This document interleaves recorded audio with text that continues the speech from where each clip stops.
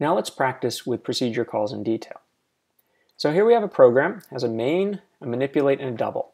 And main is going to call manipulate, and manipulate is going to call double. And there's some problems with main and manipulate. Neither of them is following the conventions for arguments and results, that is sending things back and forth between the procedure calls. Neither of them is saving the necessary temporaries onto the stack. And the program's never going to exit because we're not doing something else. So what we're going to do now is we're going to first go through and identify all the callers and callees, and then fix the problems by modifying the code. So the first part, which of these are callers and callees? So if we go through this, what we see is that main is a caller only. Main is the first function in a program, so nobody calls it. It's just responsible for calling things, so it's only a caller. How about manipulate?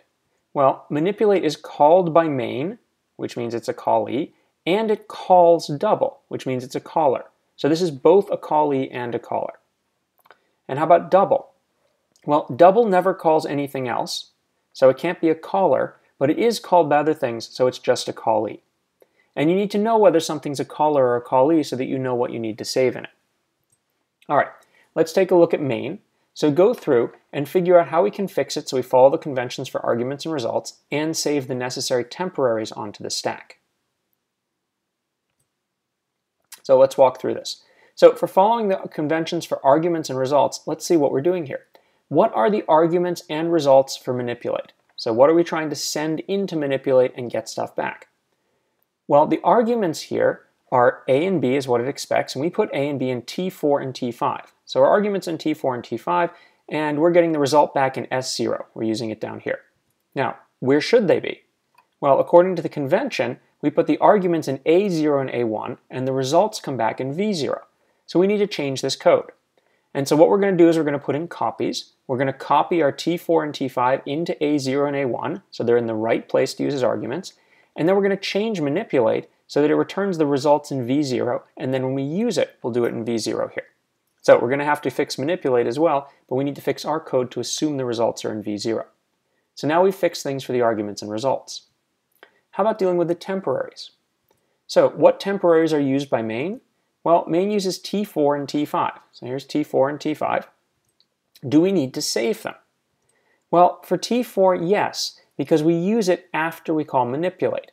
So when we call manipulate here, it may overwrite T4, but we need T4 when we get back here, so we need to save it. But T5, even if manipulate overwrites it, that's fine, because we never use T5 again in our program. So we don't care if manipulate overwrites it, and we don't need to save it. So we can go ahead and do this. We can push our stack down and store T4 on it.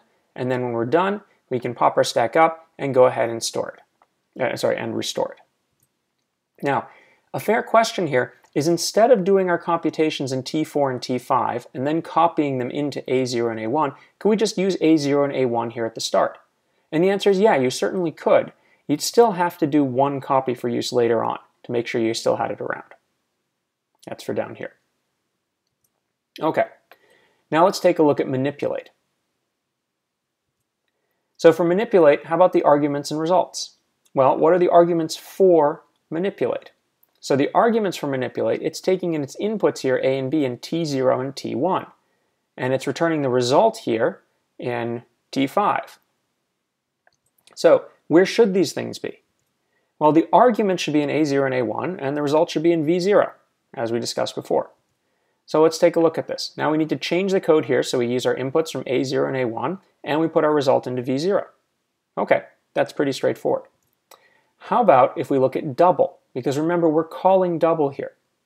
So for double, we currently have its inputs as C and D, and we put them in T2 and T3, and the results are coming back in T4 and T5. So these are not in the right place. Where should they be? Well, the arguments should be, as usual, in A0 and A1, and the results in V0 and V1. So we need to change things around. We need to put in some copies to copy from T2 and T3 into A0 and A1 for double. And then we need to change double so it returns the results in V0 and V1. And then we need to change our code so that's where we expect them. All right. What temporaries do we need to save and manipulate? So what temporaries does it use? Well, there are a bunch of temporaries here, T2, T3, T4, and RA, but the question is which ones do we need to save? So if we look at this T2 and RA, we do need to save because after we jump to double, we use T2 again, and then we use RA again. So if it changes them, we need to save it. So we got to save those two.